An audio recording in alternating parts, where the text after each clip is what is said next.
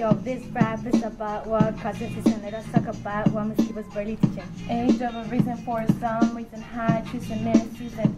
It's a cold breeze on a December afternoon. December, it's a cold, yo, winter, another day of a snow blow.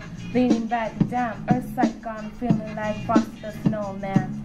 Now let me talk about what the earth says. Today 23.5 degrees sun excessive we have we have the sun and the earth and the moon spinning around each other with gravity too.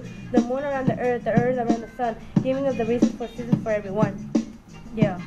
Seasons are caused by the tilt of the earth. That's why maybe the energy of the sun is supporting us all. Uh. Important to call it by its right name. You know what it is. Energy from sunlight to photosynthesis. It benefits the flowers to get the sun's power. The yeah. earth orbits once over 24 hours now. It's better to remember it's a length of a day. So it doesn't matter if it's in December or May. It's still the same. Because one year takes Earth to spin around the sun once. So months to orbit one way around takes 265 days to bound. So now that you know, don't say that you didn't learn. Come to Skibo tries her best to explain what we have learned.